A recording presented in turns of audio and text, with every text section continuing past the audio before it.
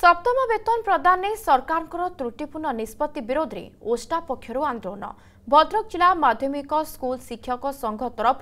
राज्य सरकार ते तिख प्रकाश गरि सप्तम वेतन प्रदान पद्धति अत्यंत दुर्भाग्यजनक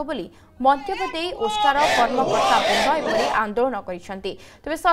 तुरन्त सठिक पदक्षेप न नियता तहले राजरा ओस्टा ओब चेतावनीप्रेक्षीर ओस्टा पक्ष जिल्ला शिक्षाधिक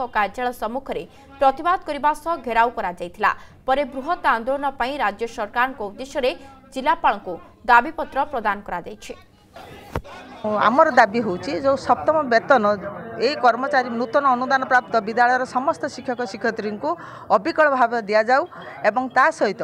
ଯେଉଁମାନେ ହଣ୍ଡ୍ରେଡ଼ ପରସେଣ୍ଟ ପାଉଛନ୍ତି ଦୁଃଖ ପରିତାପର ବିଷୟ ଏକ ଏକ ଦୁଇ ହଜାର ବାଇଶରେ ହଣ୍ଡ୍ରେଡ଼ ପରସେଣ୍ଟ ଯେଉଁମାନେ ପାଉଛନ୍ତି ସେମାନଙ୍କୁ ମଧ୍ୟ ତା ଦେହରୁ ବାଦ୍ ଦିଆଯାଇଛି ଆମର ଦାବି ହେଉଛି ଯେଉଁମାନେ ହଣ୍ଡ୍ରେଡ଼ ପରସେଣ୍ଟ ପାଉଛନ୍ତି ଯେଉଁମାନେ ସେଭେଣ୍ଟି ଫାଇଭ୍ ପରସେଣ୍ଟ ପାଉଛନ୍ତି ଯେଉଁମାନେ ସିକ୍ସଟି ପରସେଣ୍ଟ ପାଉଛନ୍ତି ସମସ୍ତଙ୍କୁ ଅବିକଳ ଭାବରେ ସପ୍ତମ ବେତନ ପ୍ରଦାନ କରାଯାଉ